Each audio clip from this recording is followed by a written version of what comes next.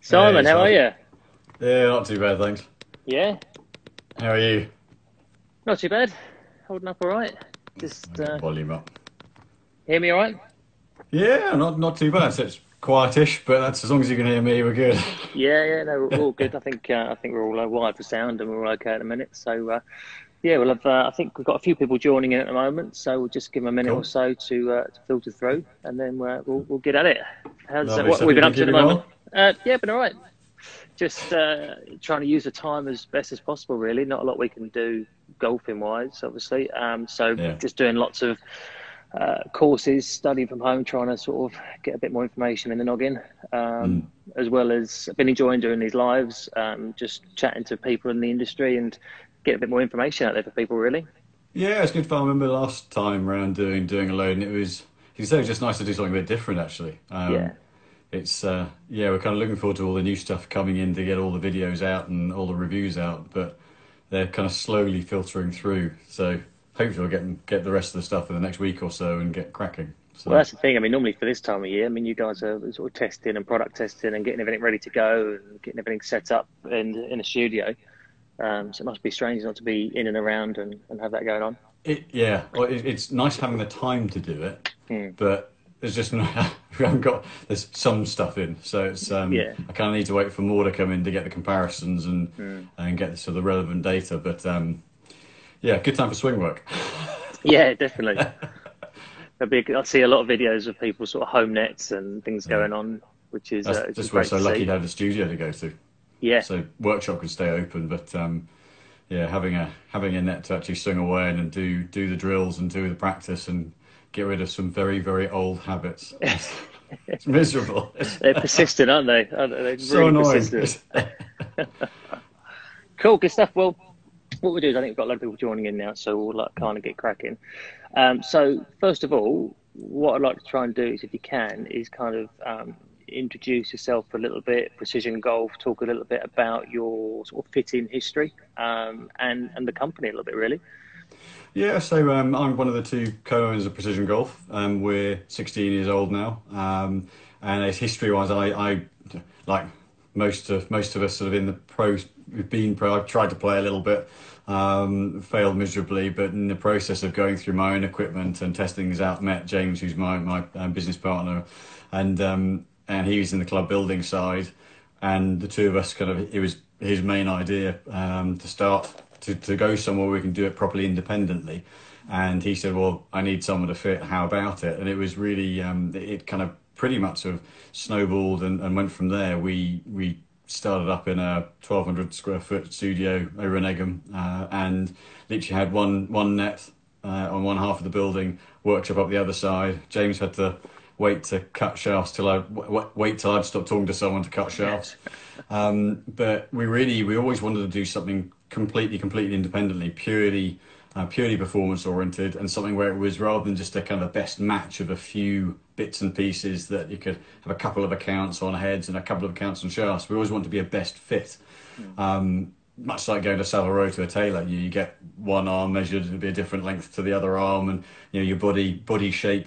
None of us are completely uniform, and, and in the same way that they would trim the, the jacket or the suit to fit you, that's what we've always wanted to do from a club point of view. Um, so over the years, we've managed to add, add, and add, and add to all the accounts that we got, all the products that we've got, all the technology that we use to I guess to really do our, our best to assess someone's game in the in the three three and a half hours or so we have with someone, and have a solution there. Have something we can say, right, this this is the best thing for you because we've tested all these these variables, we've identified this to be an issue, and this is the right route forward, and there's the data to back it up, um, and do it completely without. You know, we we really. Without sounding frivolent, we, we really don't care what someone goes into as long as it's the best performing product. Yeah, and you're not there to sort of look at what's the best margin or what what am I trying to sort of Yeah. sell at the moment. It is just the best product for that player at the time. Exactly, exactly that. Yeah. Um, it, it- as you say, margins are. Uh, they are what they are. Um, you know, obviously we're you know, in in business to I think they survive, and once we get through this, we know how busy we're going to be, and we're just so lucky to be in golf for that at the moment. But uh, it, it's really yeah, you know, it, it's it's all about the service side of it and making sure we we do our best to maintain the highest levels on that. Yeah. Definitely. And while we're chatting through everyone that's listening, um, if you've got any questions, chuck them in the comments box below. And like I say, as we go through, we'll either look at them at the end, or if they're relevant to what we're talking about at the time, then we'll uh, we'll pick them up and, and go from there. Um, personally for me, I think uh, I think it must be about a year or so ago that I came up to uh, to see you guys. I don't know. So it's all I disappeared flown- yeah. into a fog of time. Days and numbers and calendars have gone out the window completely. Um, and I guess a bit of background from where I kind of got involved with you guys was that uh, as an amateur, I was lucky enough um, looked after by TaylorMade and, and went down to their sort of tour fitting department. So everything I knew, all my equipment was absolutely uh, perfect. And then, as and when I got a new set of clubs um, through sort of standard channels, all of a sudden started to find a few discrepancies and a few odd things happening through the bag. So obviously booked in to come and come and see yourself. And I think it's kind of advertising a little bit tonight about what goes into an expert fitting, how much detail is in there, because there's a huge amount of value in having that sort of expertise and the technology and the experience of being a full-time fitter than um, like anything like a, a local free fitting or something. There's going to be different levels of, of expertise in it, and it's kind of advertising really the, the value in and what a golfer can gain from having that sort of expert fitting really. I think I think a lot of a lot of it is is so in everything we do.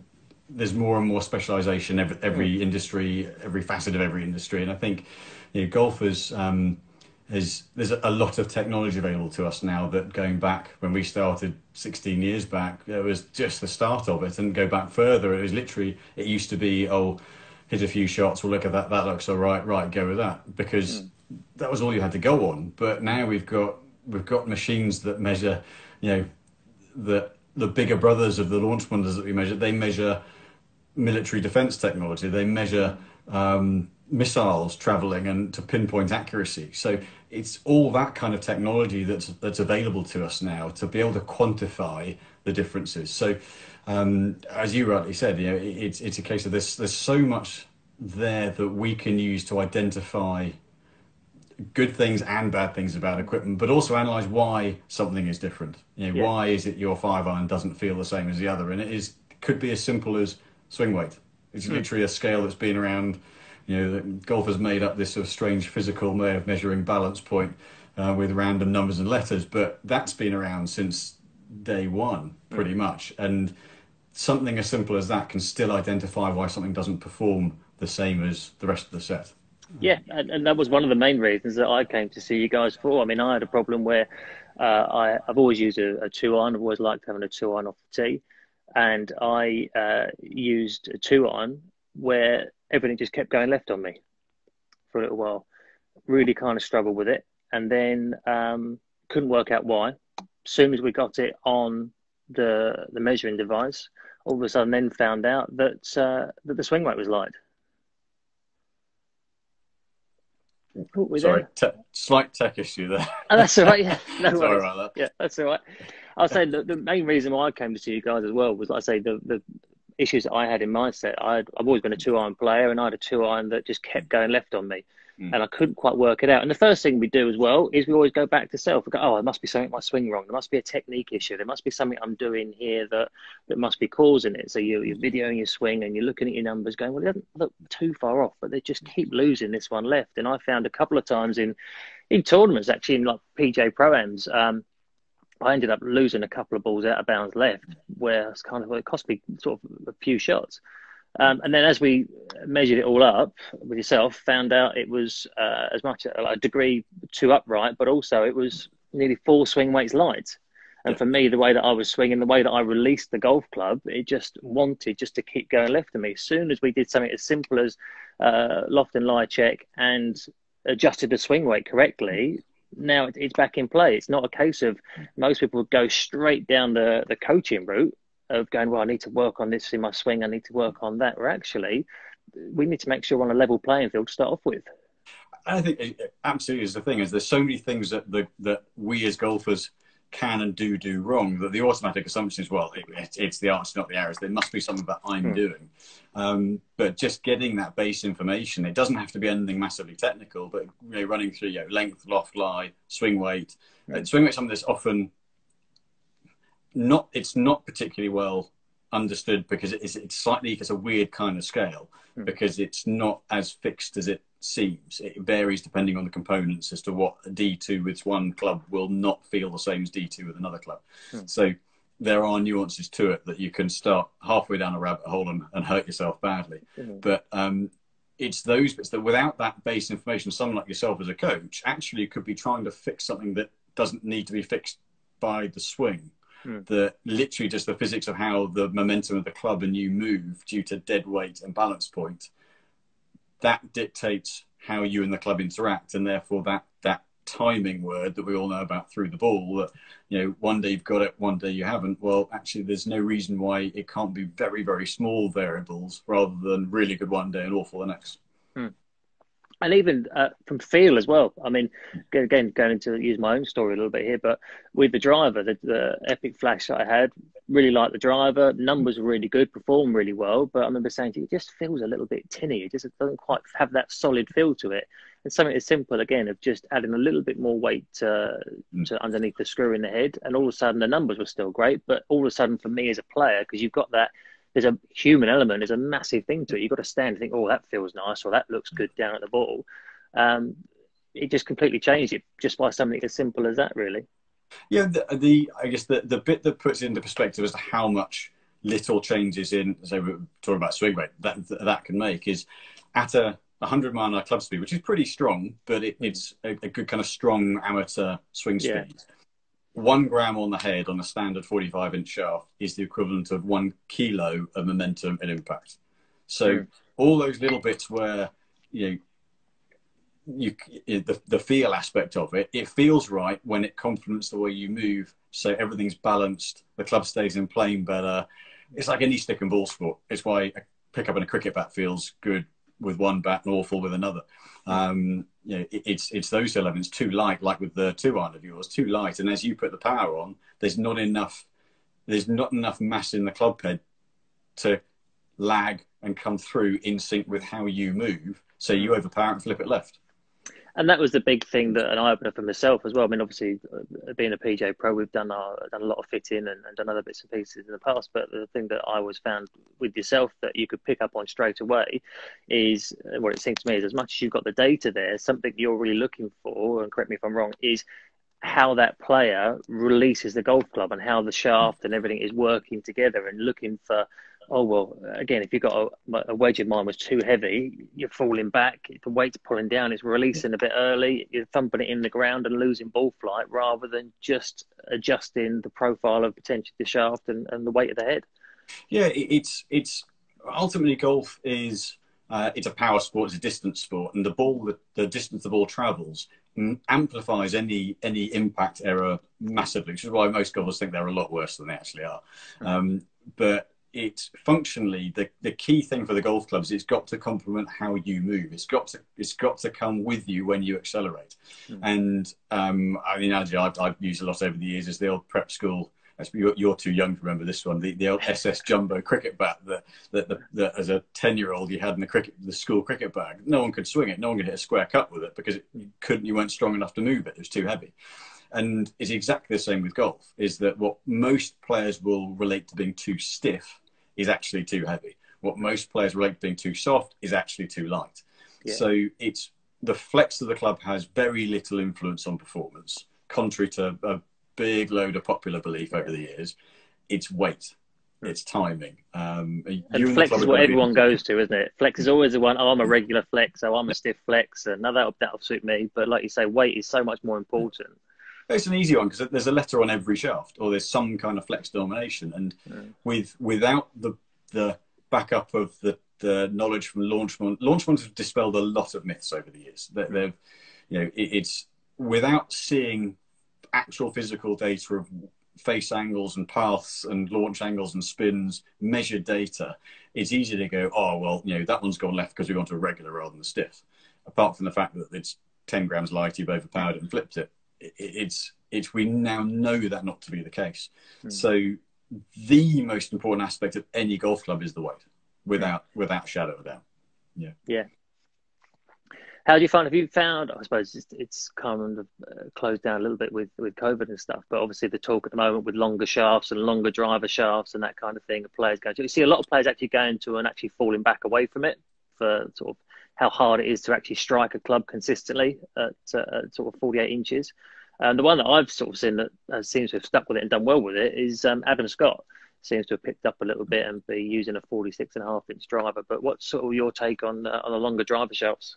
So, as with any club in the bag, the longer it gets, the harder it is to to, to keep control of. And I think when you're looking at someone like Adam Scott, has one of the purest swings that there's been yeah. for God knows how long in golf. Um, there's there's there's a give and take with it. So for the pro player, so Dustin Johnson has been testing a 47 inch driver. Um, he was testing it at the Masters. Uh, he gained about 10 to 15 yards, I believe, but he can't hit fairways with it as much. Mm. So for him, okay, if you hit it 350, losing 10 yards isn't the worst thing in the world. Yeah. But he's he's stuck with his traditional length driver to hit fairways. Um, he's one that, well, the best golfer in the world lengths, the 47, 48 inches, those sorts of lengths, you've got to be physically very, very strong, mm. um, technically very, very good, um, of which a combination of the two is quite rare. Uh, mm. And for the amateur golfers, we will fit more 43 and a half inch drivers than we will fit over 45 inch. Yeah. Just because you've got to find the middle of the face and you've got to square the face up. And that's yeah. something generally golfers don't do well with the driver. Hmm. So um, I think there is a it's a passing fad. It's yeah. it's it's been done before. The long tom driver that uh, I think it was Cleveland did. The Cleveland um, uh, might be Nike actually, but basically they've been long drivers have been done in the past. TaylorMade made a 46 and three quarter inch driver with the burner super fast, and it didn't, and it was awful because it went sideways. Yeah, yeah. It, has been done before. It's just that there's a focus on it now because Bryson's doing it.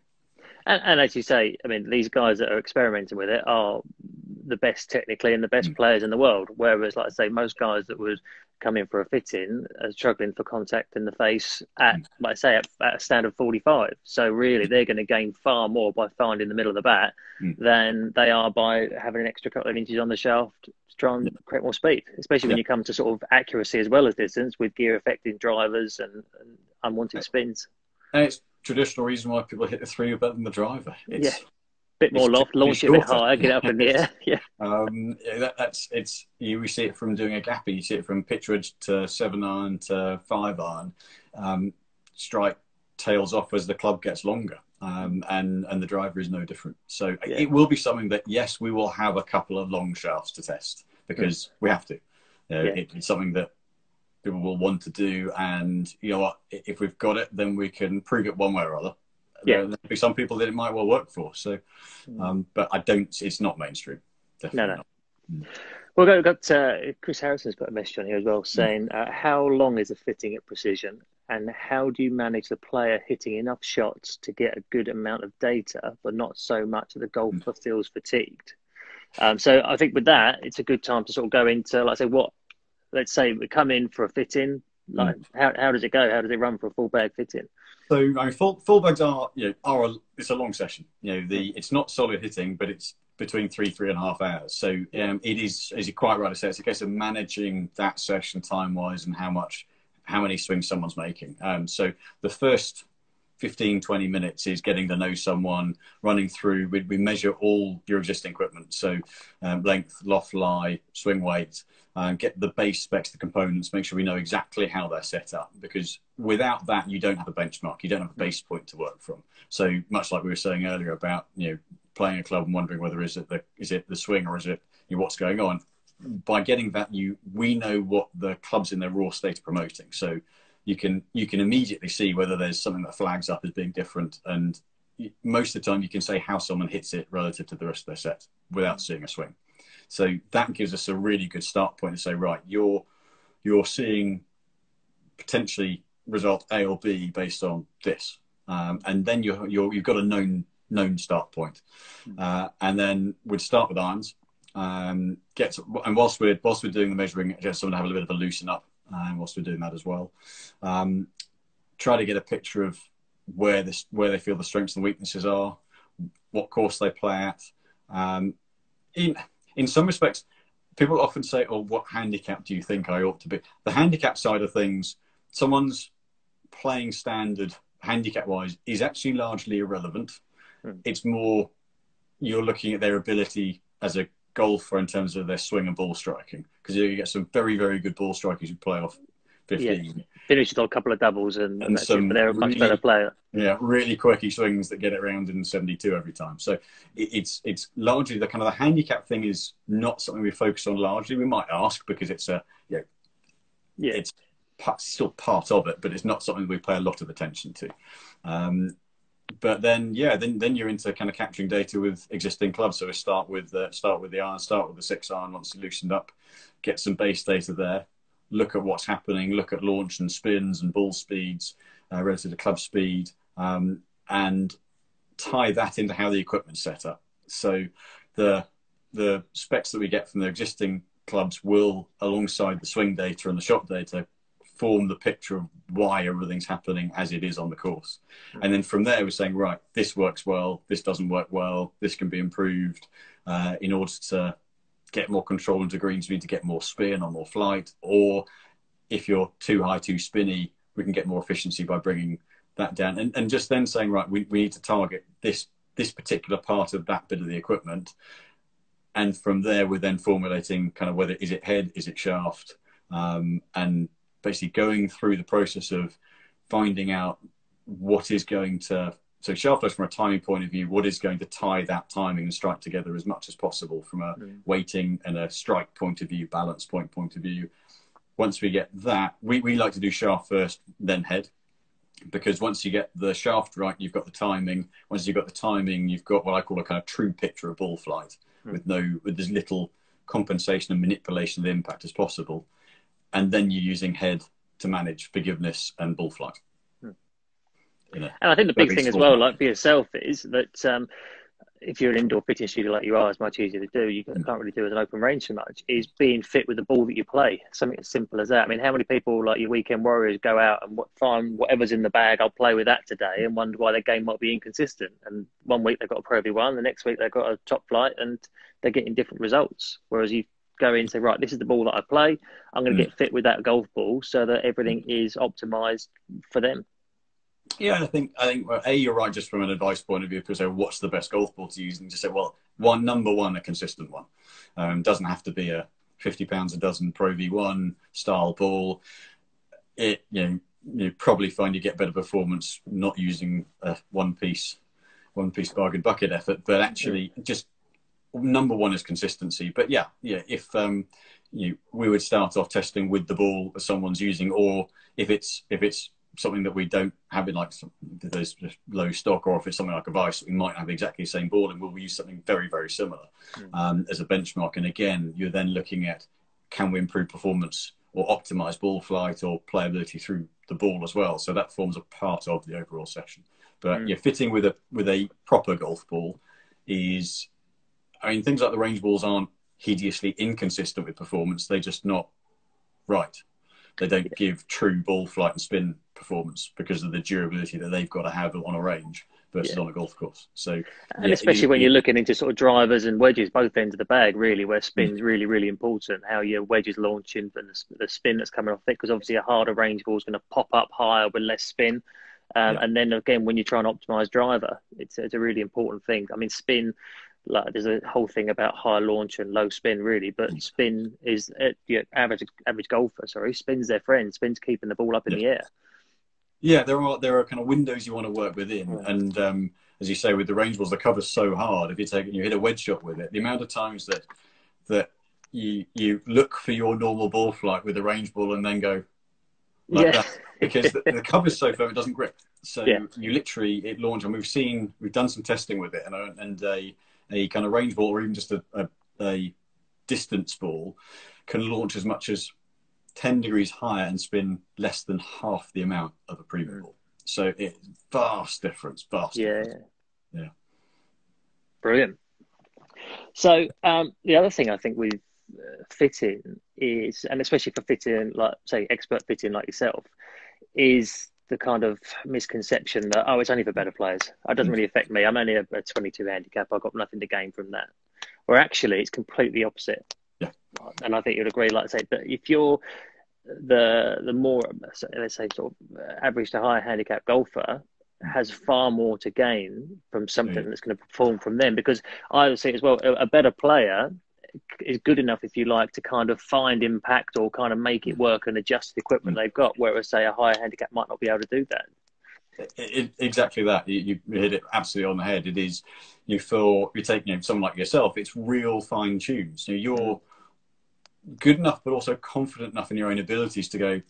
That's not me that's not me. There's something with the club. So what you tend to find is the better the player is, the closer to broadly speaking what they need they tend to get because there are certain correlations that you're expecting to see in ball flight relative to what you're doing, and you trust your ability to, to know that well that that was that was not the swing I made. Mm. And you go to the other end of the spectrum, and then you you, you get a high handicap who goes, well I don't play enough, or I'm just not good enough, or you know, or you know they just have a low opinion of their game, mm. which makes them blame everything on themselves. And, and you just say they, they don't necessarily have the ability to manipulate their game to find contact or to manage their way around the golf course with it. So, or they're just playing fundamentally something completely wrong um, because it's just been in the bag for 10 years and what kind of works once every 10 times. So, or been passed down, or, or, or to a degree as well. Let's say someone uh, potentially that's kind of sort of we're all getting older, but sort of moving, they might have had, had a driver they had when they were 55 and now they're kind of 70, 75. Mm. They're going to put completely different force and, and different movement yeah. to it. And also for that player, uh, really, you go down the coaching route to try and hit the ball longer or straighter or launch it higher. Let's say they've got a 10, nine degree driver with a stiff flex, mm. and now, like I say, they're not they're not creating enough speed, and they might have a yeah. out to in downward attack angle.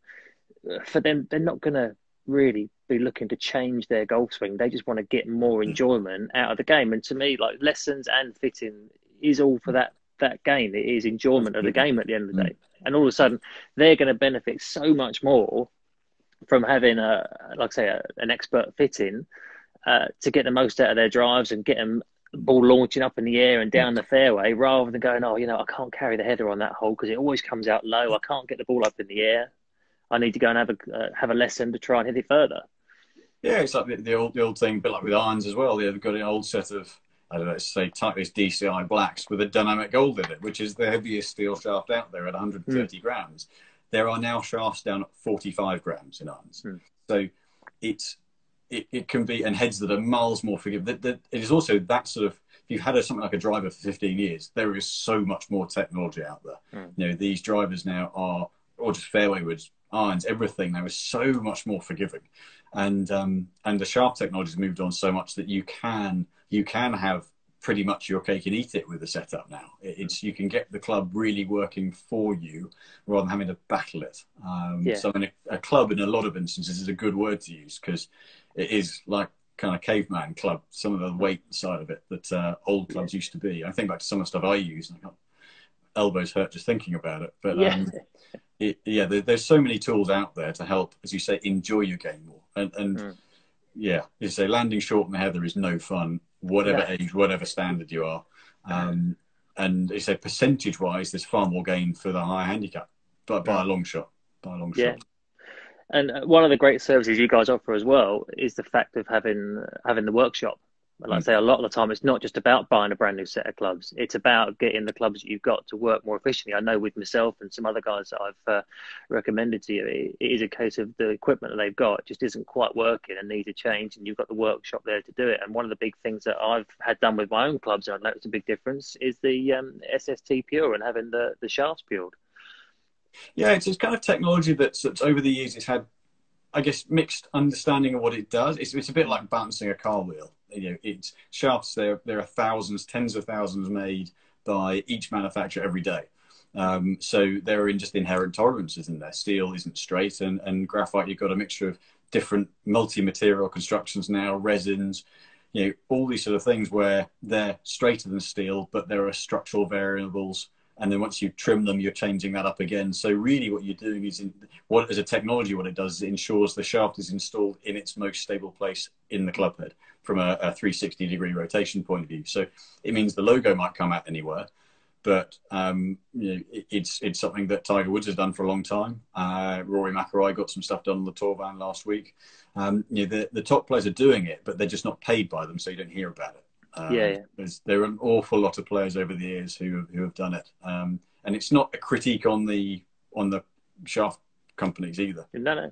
It's just recognizing that they make thousands of them, so there are inherent tolerances and and variables shaft to shaft. Um, and so, that's the same thing as well with, with buying new clubs. I mean, something I always find I think is is a really good if you're buying a, a set of golf clubs, obviously from yourself, it'll already be done, or from uh, a PGA Pro. Is I think everyone the tendency always been, and when I was sort of working the shop a little bit more and an assistant pro is, oh, we'll leave them in the wrapper because then it's a lovely thing for the client to unwrap, which is, which is it is it's fantastic. Mm.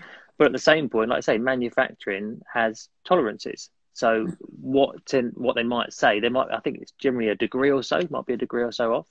And again, a discrepancy that I found with, with my set was the fact that my four or five and six iron were meant to be 22, 25 and 29 degrees. And when we measured them, they were 23, 24 and 30. Mm. Now, yeah. they're within tolerance. They're one degree yeah. as to what mm. they should be, but I've got a four and a five iron that's the same weapon, and then I've got a six degree gap all the way to the six irons, and now I've, there's there's gaps in the bag, and something that's yeah. uh, really worth doing is, like I say, having them checked, getting them checked as, as sort of mm. like I say part of a service before they go into into the client's hands, really.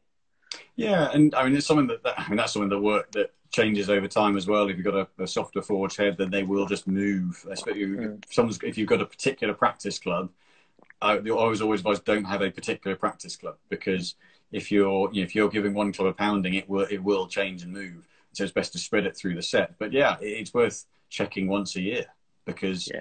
um, it's it's something that you, you could without realizing things can shift and move. It's it's there's a lot of force going into those clubs. So um, especially when the ground gets hard in summer, it, it's it's like hitting off a mat a hard rubber mat every time. You know, there, there's a lot of stress on that hosel um, mm.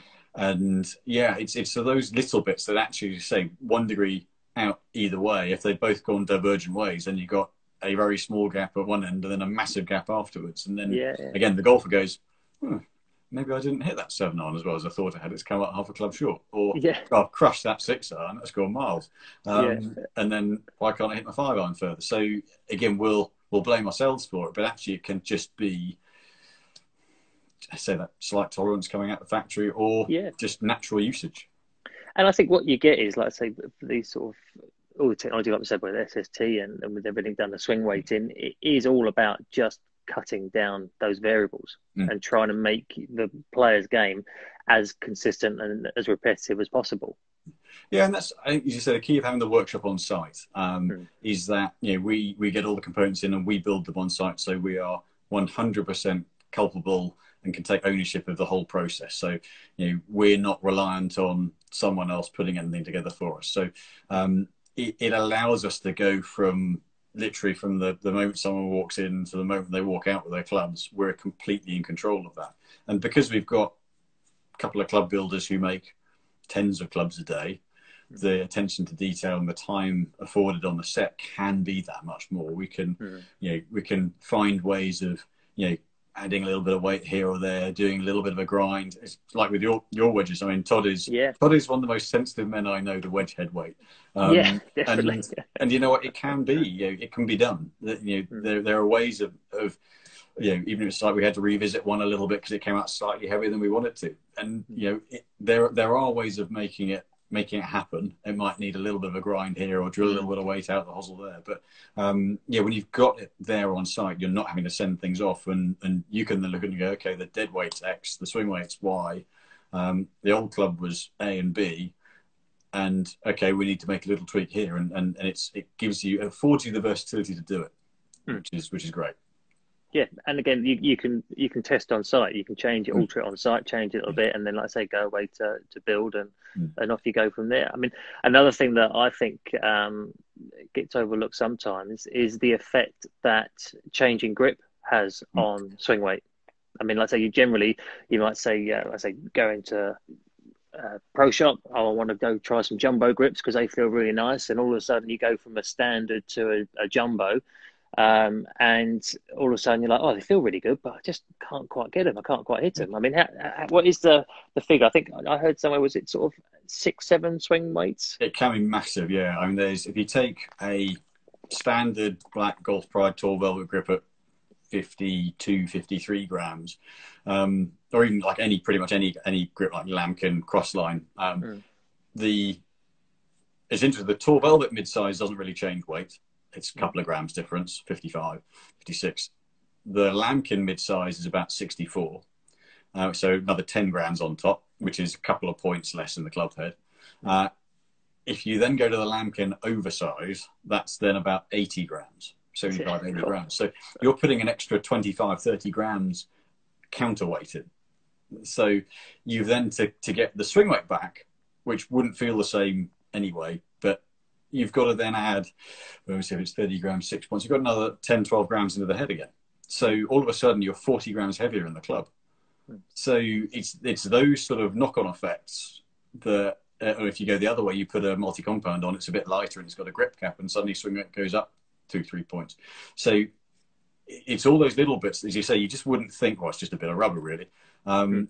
But yeah, I mean, I had, had, an inquiry from someone recently about, you know, I, I you know, got a bit of arthritis in the hands and wanted to go to a jumbo. I was like, mm, maybe not quite that big. Um, yeah, yeah. But yeah, it can have a huge effect. Um, and, and even from a fitting point of view, that there are some players that are really sensitive to dead weight. And just putting that extra eight to 10 grams in the mid-size grip you have to sometimes be really careful of using a grip weight that doesn't doesn't push dead weight up too much. Mm. Um, so that, that can have really massive effects on timing. Yeah. Mm.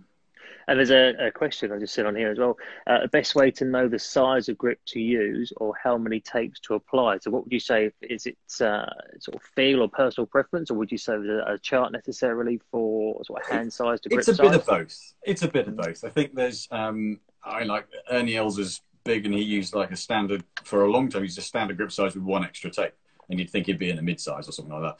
There's there's it's a mixture of theory and practice with grips. I think you've got um, as a general rule. I mean, standard size, standard grip one layer is actually fairly small. Um, so the difference between a standard grip and a mid-size grip, if you were to just use layers of tape, is about seven. Uh, so it's a lot more than people might think. Or adding one layer of tape you'll feel it, but it doesn't make a massive difference. To make a really noticeable difference, you've got to add at least two or three layers to make it really feel noticeably larger in the hands or change a, a kind of a hand pattern through impact or anything like that. Um, I think in the main, uh, it's there. There are charts. Um, I guess. I guess to a point because I've done it on how the grip fits in someone's hands for so long I've got used to not using those charts anymore. I mean, yeah. yes, if you got to like a, a if you had a, a, small glove, you're going to be probably one or two layers. If you got to a medium, you're going to be three or four layers. Medium, large, verging on a mid-size. There's a really broad ranging, spread. that's that's kind of a very broad pattern of it. But you've then got you know, some players just like a bigger grip feel. I've got a mm-hmm. you know, international hockey player who's a client of ours, and he plays a mid-size, even though he's got small hands. He's just used to hockey, hockey stick handling. Yeah. There's you can form a lot of habits with grip sizes. Ultimately, as long as it's not ridiculous, it's got to feel it's got to feel comfortable. Yeah. Um, and yeah, I think we're, we're tending towards. I think from where the swings change to be more more body oriented and quieter hands. Mm. There are a lot of the plus four grips or the kind of reduced taper grips. Um, so Lamkin have got their they call it kind of Sonar standard plus um, obviously, Golf Pride have got the plus fours. Um, obviously, Bryson takes it to extreme with the Jumbo Max, but taking that taper out keeps left and right hand more neutral. So it takes out that kind of a little bit more tendency for the right, you know, for bottom hand. Sorry, I've been very right handed um, for the bottom hand to be a little bit, little bit faster through impact. So that's a going more body oriented on swing technique affords you to go a little bit bigger on the grip because mm. you hmm. don't need your hands to do as much. So um, I've always missed left, so I prefer a bigger bottom hand. It, it kind of yeah. there are there are definite base points to start from, and then you kind of move into grip texture and size as sort of mm. managing feel and comfort from a I guess a, a, sensible base point on sizing. So yeah, if, if, I think the first bit probably gave a kind of a start point on sizing, if that helps. Yeah, And like you say there, it, I think it's, it's very um, dependent on how the player releases a golf club and, and, and, the feel they need. Like I say, if someone's in there and they've got a lot of hand action, now if they're reliant on that, you take that away and they're going to really struggle to strike it. Yeah. They might say, "Oh, I want to quieten it down." Well, actually, that's your game. That's how you find the ball. So that's a big key to your your golf game. And I think um, as well with fitting across the board, it's not. Uh, oh, if, if let's say like I want to get more swing speed, we need to go to a lighter shaft. Mm. Doesn't always work like that. It is very, very much throughout all fitting is is trial and error. It's what works for that player. It is. It is. It is educated guesswork. It's it's mm. educated. It's guesswork from a point of knowing what each variant's going to do, and it's mm. either going to have it's either good, bad. I always like the flow diagram where you go, does it work? Yes, no. It's kind of like that. You you yeah. you know the variables that you're working with, but we are all going to react differently to them. Mm. Um, and okay, there are extremes that you you are rarely going to go to, but within the parameters and the player style and the, the player's technique that you're looking at, yeah, you, you you've ultimately is a guess. guesswork. You've got to try something to know whether it's a good or a bad change. Mm. And whichever one it is, you either keep going down that route or you go, right, well, we, that didn't work, but we know why, most importantly. Um, yeah. And yeah, it, it's, it's the, the I guess the more time you get with the player, the more you understand them. So kind of repeat clients we know really well now, and and you know they can say, well, "Shall I try this?" And just go, "No," or yeah. "Yes, definitely." Yeah. Um, and and that's I guess the key thing. It's a real two way relationship. It's not a case of coming in and dictating to someone what they're gonna what they're gonna play. Um, you have to be sympathetic to them as a I guess player and character and sort of personality, how they approach the game, all those sort of bits. It all goes in the melting pot. Mm. I had uh, going back to wedge fitting a little bit here, mm. sort of. Uh, so, sort of, how do you go about your wedge fitting process? And also, um, Chris has put in there as well.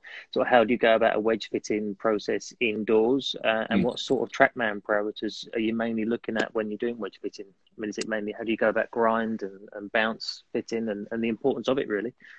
Uh, I mean, huge importance for one. Um, I mean, wedge fitting is so you you start with a kind of a base where your kind of pitch wedge distances. Um, so if someone came in specifically for wedge fitting rather than part of a full bag fit, we're looking at right where, where's their pitch wedge. That's the kind of the, the top end. That's where we're starting from. Um, you've got to understand someone's regular course they play and therefore conditions they're playing in. So you know, is it a London clay that this time of year is going to be a soggy mess and then brutally brutally firm in summer? Um, is it links turf? With kind of tighter, firmer turf, softer sand, because that all those those bits all go into what tools you're going to need. To I mean, that's the thing in the UK we get is such varying conditions. Um, you get not just course to course, but season to season. So you've got to have the armory to deal with that uh, as best as possible. So um, you looking at the so picture to start with, and then a kind of how does someone see their short game? You know, there are there's no absolute right or wrong. There are just lots of different ways of getting the ball close to the pin from 100 yards in. Um, so trying to understand the type of shot someone likes to see. Are they someone who likes to see the ball come in lower? Are they more just trying to take standard swings? Are they someone who, who really kind of feels around and manipulates shots around? Um, you know, it's there are certain shots that you know you you, you play particularly where you work the club face under nicely, you know, hence not letting the headweight get heavy because you really kind of whip the club head through. It's very much mm you you use your hands to work the club face and to work the bounce and to work the loft a lot. Um, so all those bits go into kind of formulating a picture of how someone plays their game and the conditions they regularly play in, mm. uh, and then from there it's there are generally speaking a couple of routes you can go in terms of do you have a bit more armory and more options down the bottom end, or do you keep it simple and keep it to kind of pitch wedge, front base of gaps, gap slash sandwich, and then sand slash lob wedge. Uh, so you've just got clarity as to right, it's definitely that one or that one. Um, so it, it's it's yeah, it, it's there's there's no exact formula for it. I guess like any fitting, there's no exact formula for it because we all play shots a different way. Um, we all kind of work the clubhead through differently for the short game shots in particular, um, and it's often dictated to by the conditions we play regularly. So, mm. um, so getting going long-winded on answers here, but um, the so the loft fitting is based on how many clubs does someone want to play and what are what are workable gaps within that. Hmm. Um, and then a bit of the ball flight side of things. So someone might want the extra wedge, but doesn't want to see it go straight up in the air. So you kind of go, for example, 58 rather than 60, that kind of thing. Yeah. Um, bounce fitting is really looking at so the, a bit of it is looking at how someone delivers the club head. Are they someone who, like I've always been a bit kind of um, shove the handle forward, steep, laggy, uh, poor short game. Um, um, when you get on that wet London clay as well, you notice yeah, it. Yeah, that's why that's why I love Linscott. You can pinch it against the turf. Yeah. Um, but um, so you, someone like that, you're going to need more bounce. You're going to need protection on the back edge. You get someone who's really kind of quiet arms, body rotation, shallower into the back of the ball, kind of really skids the club shallow across the back across the turf. You don't need as much bounce from. So again, you've got sort of parameters there straight away from technique. Um, over here, we've got to have the variety of bounces. So if you're playing an extra wedge, it affords you to go a bit more bounce on one and a bit less on another. Um, so we generally play a curve a bit more on a sandwich, a bit less on a on the lob wedge, hmm. um, because you can then achieve similar lofts and massively different bounce conditions. Hmm. Um, or the extravagant way is to have two sets of wedges, but that's yeah. obviously an extravagant way of doing it. Yeah. Um, it's fine if you're a tour player and it's free.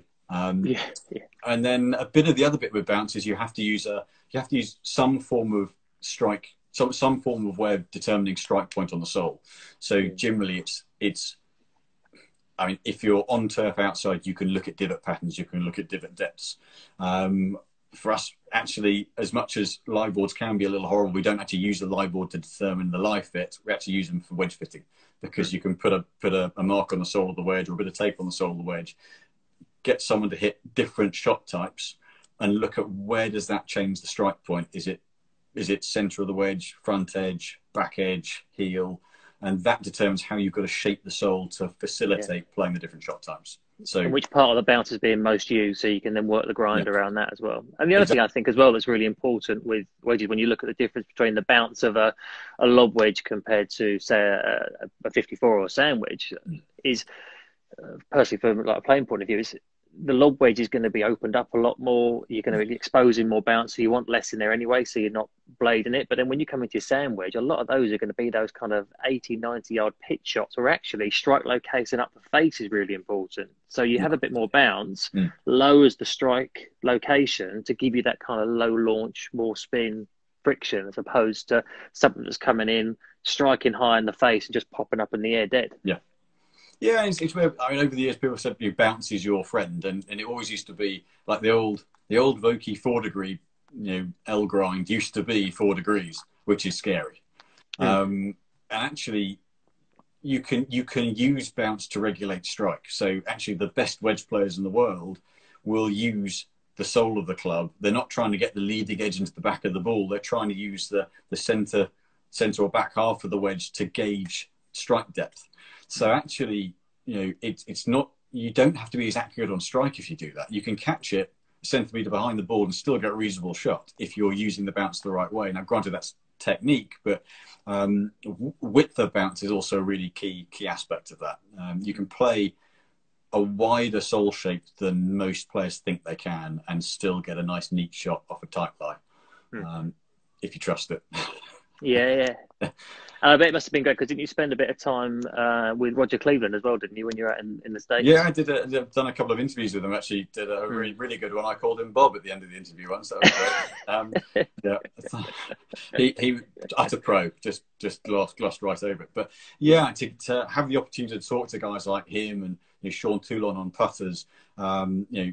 Bob Vokey, Alan Hocknell, who's the head designer, those guys getting getting a chance to speak to them. They're so enthusiastic about it. You'd think after so many years in the game, they'd they'd just churn out the same conversations over and over again. But um, these guys love finding something new, and mm. there are so many years worth of working with the best players in the world. Which, granted, not everything that they do is relevant to your club golfer, your average golfer, but actually they can learn so much about how it works and little little changes here and there about a bit of you know five mils and sole width or graduation on progression of bounce, something like that, will will just lead to such better products down the line. And he, he's just so, so enthusiastic about just a slight change in, in groove pattern on the face.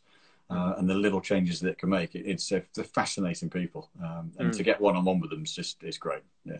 Yeah, definitely. And again, that comes into what we said about the expertise and the extra knowledge that goes into into a lot of uh, fittings that, like I say, many other people and most other people wouldn't have access to, really.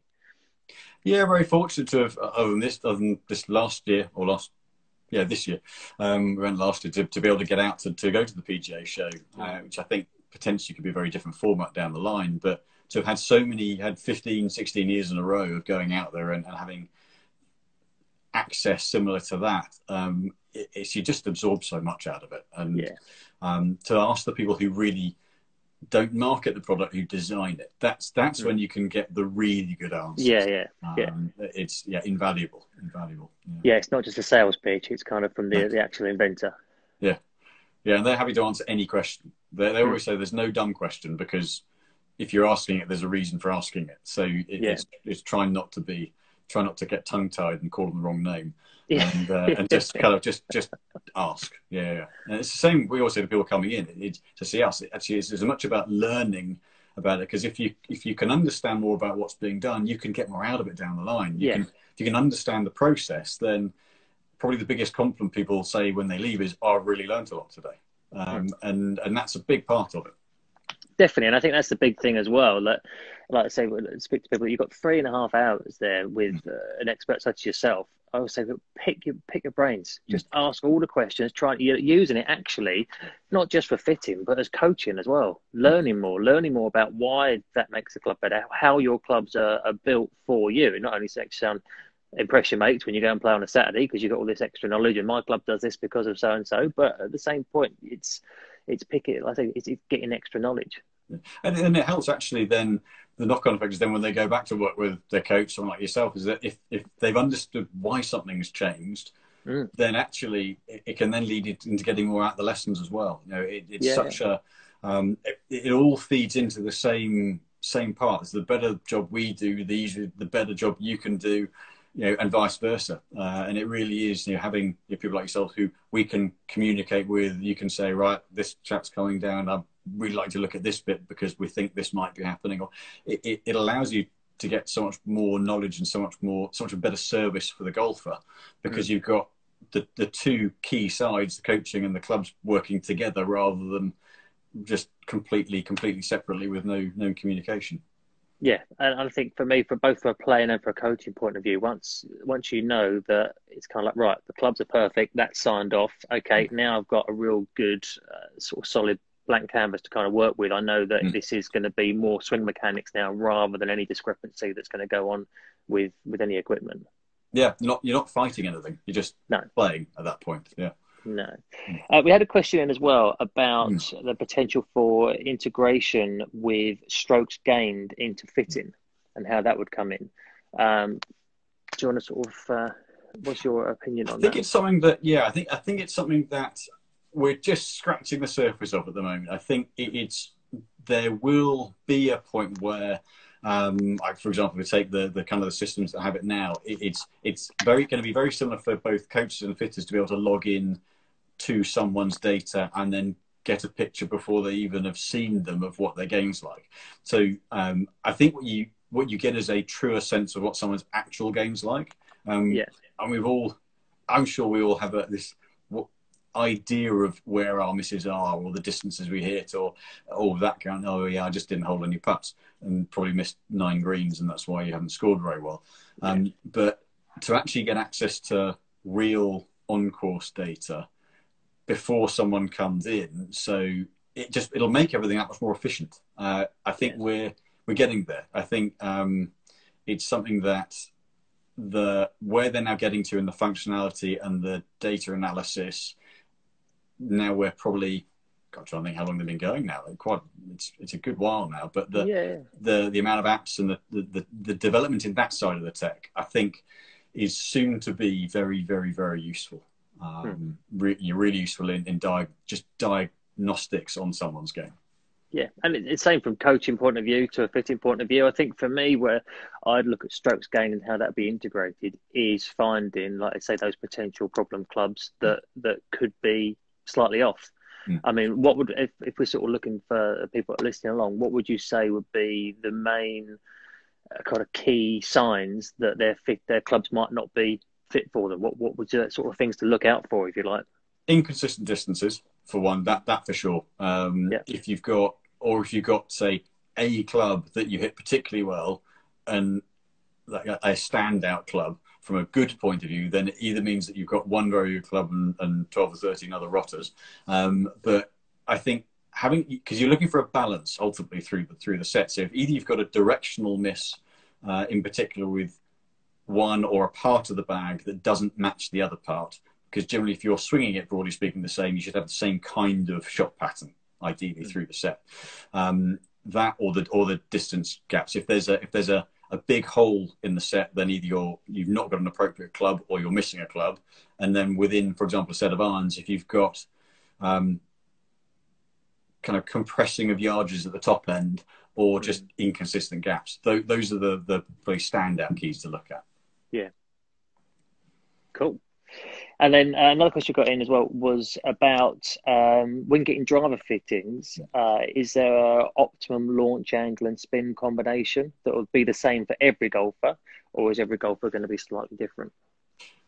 The latter, yeah. There's, yeah. there's um, because what the optimal window depends on how you deliver the club head. So, hmm. um, for example, if you've got someone like Henrik Stenson who hits down his driver and shoves his hands forward and delofts it massively, he's going to be a totally different flight window to McIlroy who hits up on it five degrees.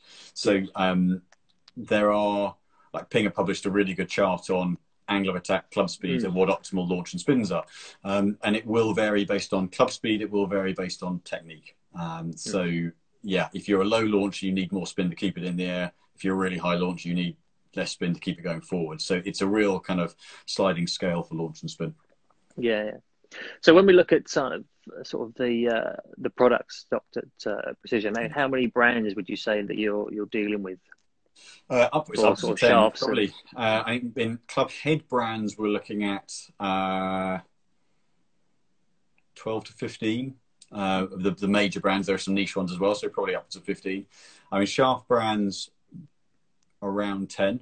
Uh, in terms of variables, we've got uh, on the wall for driver shafts alone, we've got a couple of hundred, uh, which are not necessarily different models, but there are flexes within models in that range. Um, and then iron shafts, another couple of hundred. So, yeah, it's vast. Yeah, exactly. and the great thing about it is, is the fact that everything fits into everything.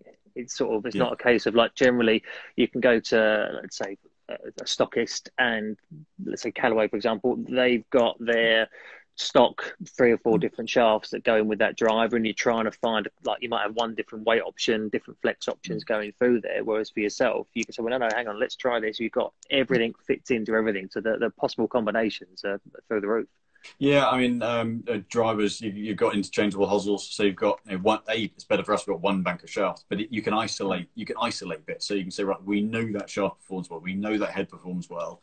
Mm. What do we need to change to optimize it? And you you know the exact variable you're changing. Um, mm. So you know we've had to integrate some slightly different tech for the, the fixed fairway woods. Like some are adjustable, some are fixed. So we're kind of adding adding a little bit into that. But um, mm. But yeah, it, it's it's great to be able to say, right, we know we know by changing this bit that that happened, uh, and we can be yeah. very, very definite with that. So yeah, yeah, having not having to go through different builds of three heads with that shaft. Well, that shaft should work in that head, kind of thing. That's that's what it was like in the in the old days. Um, it, has been yeah huge to be able to isolate performance characteristics. Yeah. Mm and the fact of yourself, like I say, where you're a full time expert, uh, expert fitter, in the fact that you've got a catalogue of people that you've worked with and you know how a certain shaft has performed when testing with lots of different players. So if you're mm. looking for a potential fix, then you know, okay, well, this shaft has this tendency or this flex point and this is how it's weighted.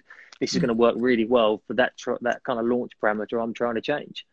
Yeah, and, and you get to know there are some shafts that are very, very good with very specific swing styles, and others that, mm. that will perform similarly across every kind of swing. So, you know, similarly, certain heads that are a bit better out the heel, or a bit better out the toe, or lower on the face, higher on the face, um, because we've, we've seen so many different people hit them um, that you, you you really start to build a picture up of why a head or where a head is really going to suit a particular player style as well. So uh, yeah. And I know I've got a month to test them all, so at least, uh, at least yeah. for my swing, I know uh, I should get a good. Well, you've got the swing dialed in now anyway, so you're all ready to test. So should be yeah, I've, I've got the heel strikes really dialed in at the moment.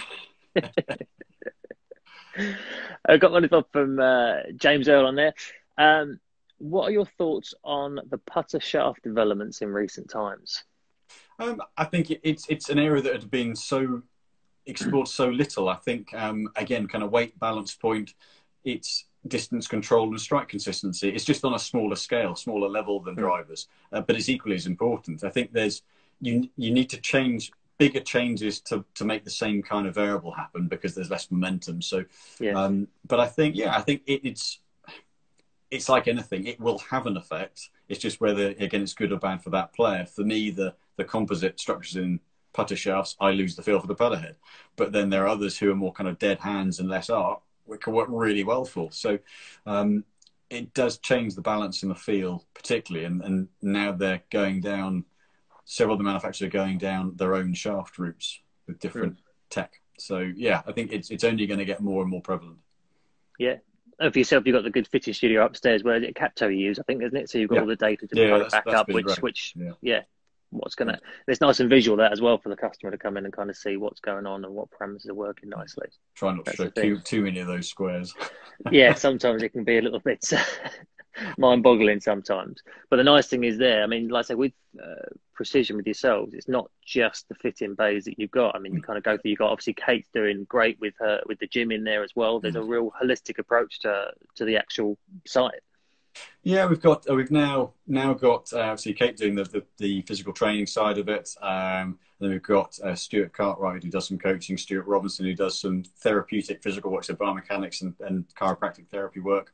Um, so being able to tie in the all sides of the playing of golf into into one bit. I guess you can argue the mental bit's the only bit that's not on site, but um, but it, like, like we were saying earlier about coaching and equipment, to have all sides communicating with one another, that's that's the bit that really starts to make the big gains because you've not got one. Uh, say, for example, you know, um, Stuart used to say that um, he did work with Nick Dougherty, and he was saying that the tour van, the, the um, coach be trying to teach one thing, and the physio's trying to trying to treat something, and actually the two things just butting heads. So because there wasn't that communication, so to be able to get all all sides on the same wavelength on the same sheet. That that's really really key. Hmm. It's nice to like say have it all all under one um, one roof as well. Just makes it mm. uh, you can yeah. kind of dive into different little bits from it as well. I think um, we're just kind of getting up to around about uh, an hour or so at the moment. So what I was going to look at doing, just like I say, just flick through so there's any kind of questions we can kind of go back mm. to or just finish off uh, in here. Uh, do you? It's interesting head- being on the bottom half of the screen this time around. Yeah. I was in the top yeah. half. It's nice. I can yeah. sit here and talk.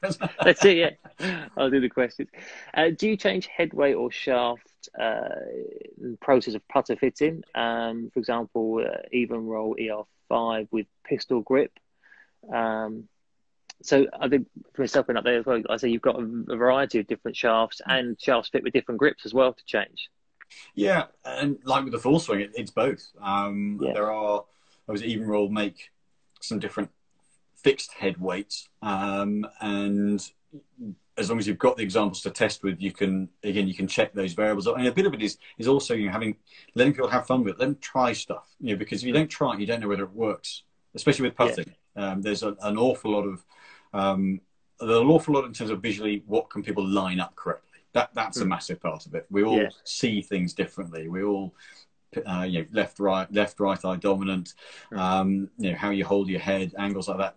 We all align things differently. So getting something you can actually line relatively straight is a great start point. But then from there, yeah, you know, the, the balance and the weighting, whether it's head weight or shaft weight, determines your distance control and your start line control. Mm. So it, it's, I guess, a bit like anything. It, it's very much. I'm always going to say it's a case of definitely maybe on all counts because mm. um, each aspect will change something for someone. It's just whether it's the right change or the wrong change.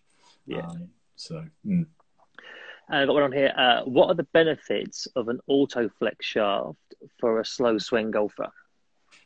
I wonder whether this this will out that autoflex. Yeah. Um, it's so autoflex is a really particular product. It's it's uh, it's got a lot of heat on it at the moment, and um, Adam Scott putting it in play a couple of weekends ago got even more out of it. So it's it's a very very soft flexor shaft with high grade materials. Um, it's you know designed and built in Korea. It's very much geared, in my opinion, it's very much geared towards the Asian market, which is more of a rotation-based single plane, shallower swing plane profile mm. and a lesser club speed. Um, so the benefits would be, I mean, a it's, it's high grade material. So whilst it's very soft, actually the stability and the di- dispersion control did seem very very good with it. Um, but ultimately, it's a mid to high 50s weight, slightly counterbalanced shaft. Um, it's not necessarily going to give you that much more than any other shaft would at that weight. Uh, and the feel of it is very, very unique. So, what are the benefits? It's a great quality shaft. Uh, its balance profile might help you move the head a little bit quicker, and it will drain your wallet very quickly. Yeah. But it's it's great quality materials. So yeah, you, but you get what you pay for. Get it that soft without going good grade of material. Um, no. But it does have knock-on ramifications for certain swing styles. Yeah, and it is that, especially when it comes to shaft, is it, it mm. what you're paying for is the quality of the material. I mean, how many mm. times have you? I think uh, a fitter that I used to sort of see come up the club every now and again always carried uh, an old Donnay club that he had uh, had out the um, direct golf or somewhere, saying sort of like pro stiff, sort of low torque, and you could just twist the thing around like this.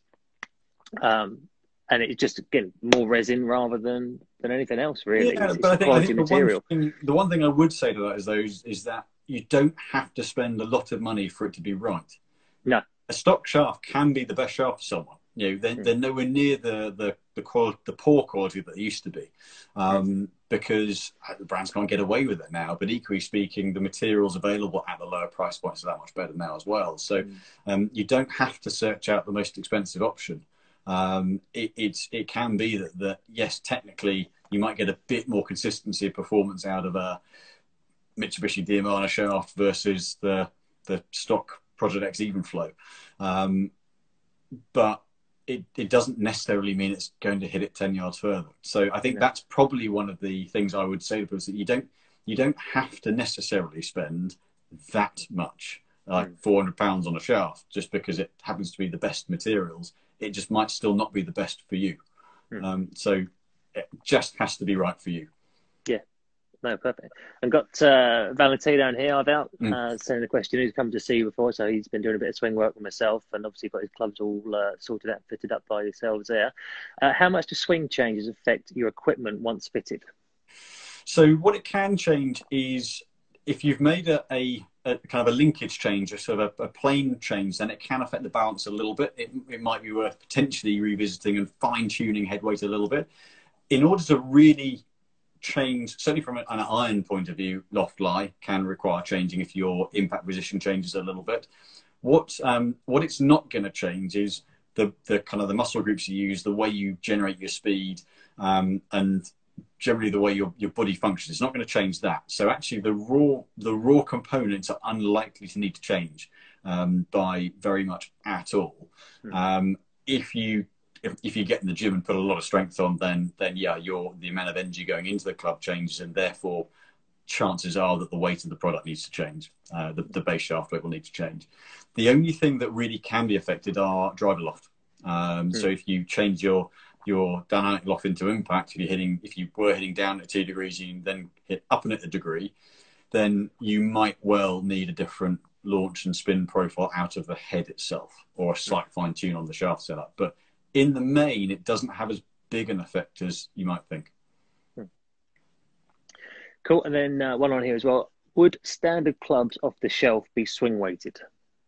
Yes, uh, they will all be swing weighted, um, but they will, they're all swing weighted into a a kind of average standard um, mm. parameter. So um, they're yeah they'll all be swing weighted, but they won't be set up for you. They're just set up for Mister or Miss Average. Yeah, um, whatever their spec sheet says on the website, that's a, what they set neutral. As neutral a setup, as, as inoffensive setup as they can make it, that's where it'll be. Um, yeah. But yes, they, they will all be swing weighted in the factory. Hmm. Cool. Well, I think we've got through all our uh, our questions now. Mm. So uh, thanks ever so much for Pleasure. joining in with the uh, the live. It's been great. So, like I say, picking your brains for a bit, and hopefully gets uh, just a lot of information to people that have been listening in as to the detail and the knowledge and the, the technology and the product that goes into kind of uh, an expert fitting at somewhere like Precision Golf um, over, um, say, a, a, standard fitting down the road. And I think for me as well, the big thing about it is, is it just shows that for me, I say don't don't be scared to pay for a fitting because knowledge, like I say, you, you have got knowledge, you've got the experience, and you, mm. you, there's a lot of stuff that goes into that. Whether it's the technology, whether it's the product, whether it's the the, the learning on the way. Um, and yeah, and I think just I think that's one of the, one of the questions we do get asked is is actually about is actually paying for the fitting and you know, do we refund it? We don't refund our fitting fee. You know, we mm. we are not we're not afraid of saying we we value our time, we charge for our time mm. because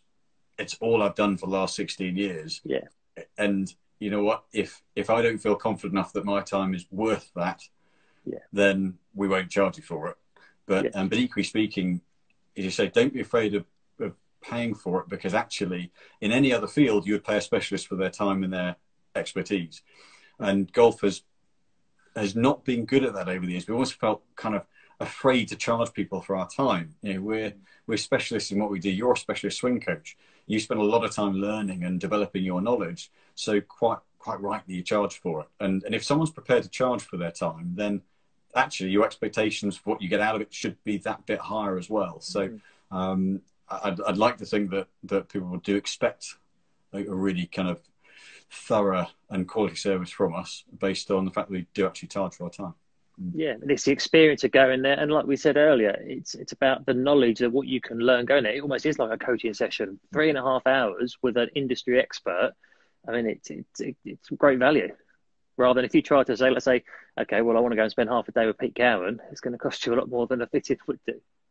Yeah, and I think, um, as you say, it's just I think it's where expectations have been over the years, and, and actually, you know, we're you know, we've spent a lot of time and, and put a lot of energy into developing the knowledge and getting the tech in, having the options there to test out. And researching yourself as well. Mm. That's the thing, so, the amount of hours you guys spend researching.